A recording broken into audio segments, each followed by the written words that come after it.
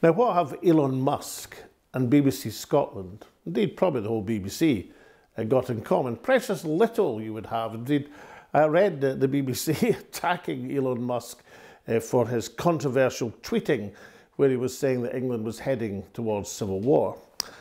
Well, I actually think they have got something in common. I think they're two cheeks of the same posterior. They're both organisations, whether they realise it or not, and whether they mean to or not, who've got a vested interest in the prolongation of trouble in the English streets. In the case of the BBC, quite belatedly, uh, what a desire or a wish, but a temptation perhaps would be the best expression of seeing it spread to Scotland. Elon Musk, uh, you know, has a pecuniary motive. He's going to make mega bucks of being the, the centre of debate. So he baits Prime Minister Sir Keir Starmer by talking about a civil war, and Starmer answers him back.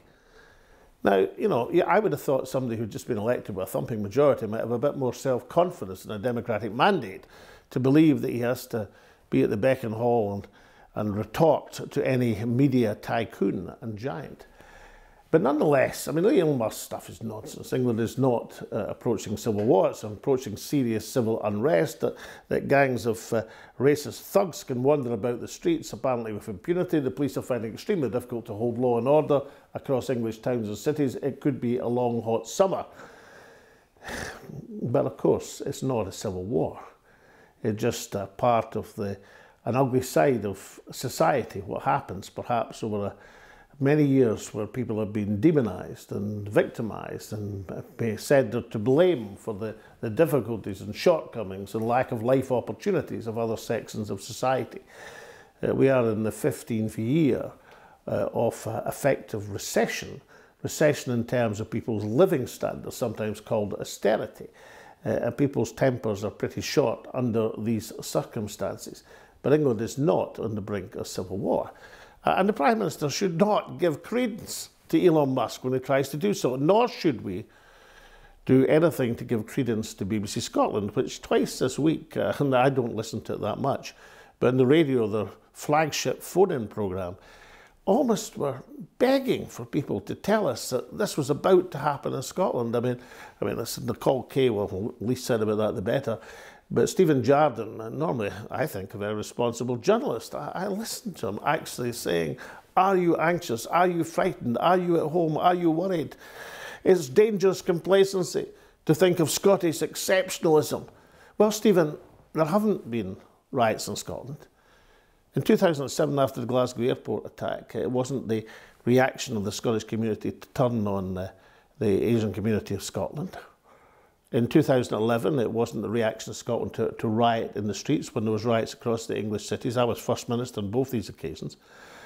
Uh, it just didn't happen, and it hasn't happened yet. But people like yourself and people like BBC Scotland, if they have headlines saying that people are frightened to go forward from their houses, then there is a danger of copycat action because it's being pushed through the media at every possible channel.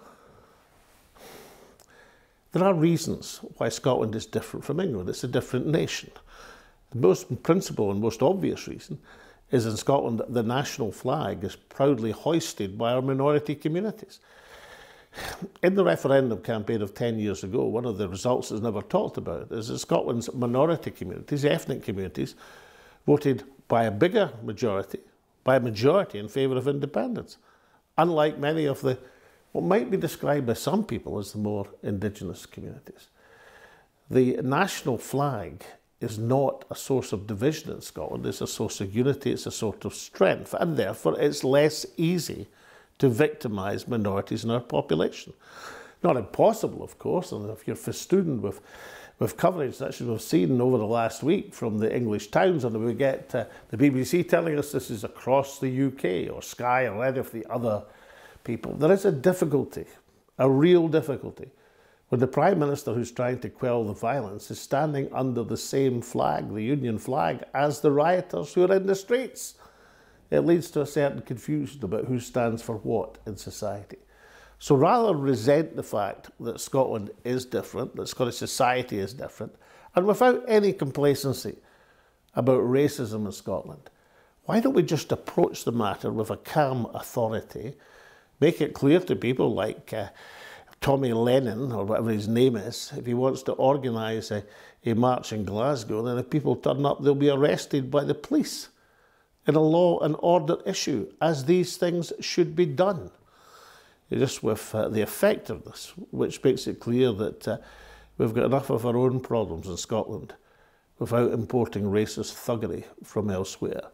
And is it really too much to expect to have a media in Scotland which reports Scotland, which doesn't want to merge us in with the, the worst aspect of other societies, and which just occasionally says there might be something good about this country, which is worth celebrating, because that's the attitude of every minority community I know, and it's why they're so much part of the fabric and tartan of Scottish society.